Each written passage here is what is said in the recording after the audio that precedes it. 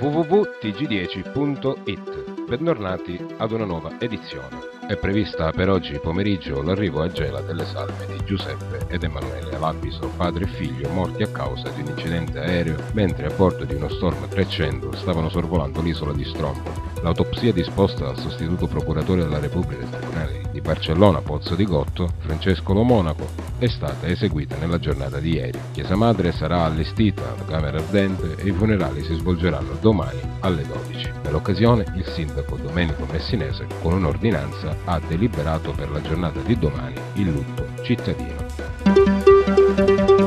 L'Agenzia delle Entrate di Gela non chiuderà per tutto l'anno 2016, l'unica a chiudere in Sicilia sarà la sede di Milazzo perché la struttura è inagibile.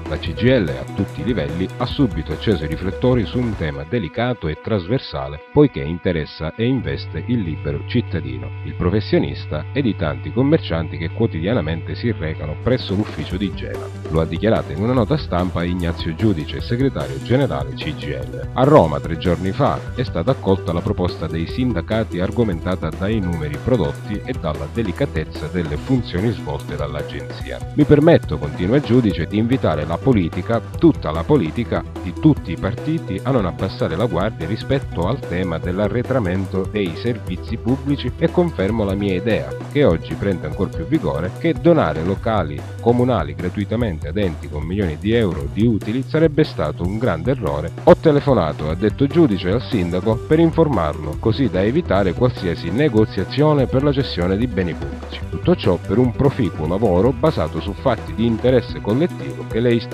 ogni giorno dovrebbero praticare. 700 atleti provenienti da tutta Italia correranno domenica prossima 29 novembre alle 10 a Gela la seconda maratonina del golf valida come prova conclusiva del Grand Prix Sicilia di maratonine senior master maschile e femminile e non a prova del Grand Prix provinciale FIDAL di Caltanissetta. La manifestazione sportiva promossa dall'Associazione Atletica Gela con il patrocinio del Comune è stata presentata nel corso di una conferenza stampa tenutasi a Palazzo di Città alla quale hanno preso parte anche i presidenti dell'Associazione Organizzatrice Atletica Gela Luigi Morselli, il sindaco Domenico Messinese, gli assessori Damante e Di Paola. Il lungomare gelese del parco urbano di Macchitella farà da suggestivo scenario naturale alla gara. Tra gli atleti spicca la partecipazione del fondista Francesco Invergiola, terzo alla Maratona di Roma nel 2000 e quinto ai campionati europei di atletica leggera a Göteborg del 2006. Era questa l'ultima notizia, vi ricordiamo che per gli approfondimenti, le interviste, i servizi e tutte le novità di oggi, l'appuntamento è alle 14 per la prima edizione del TG10, oppure potete comodamente visitare il nostro portale all'indirizzo www.tg10.it. Grazie per l'attenzione, alle prossime edizioni.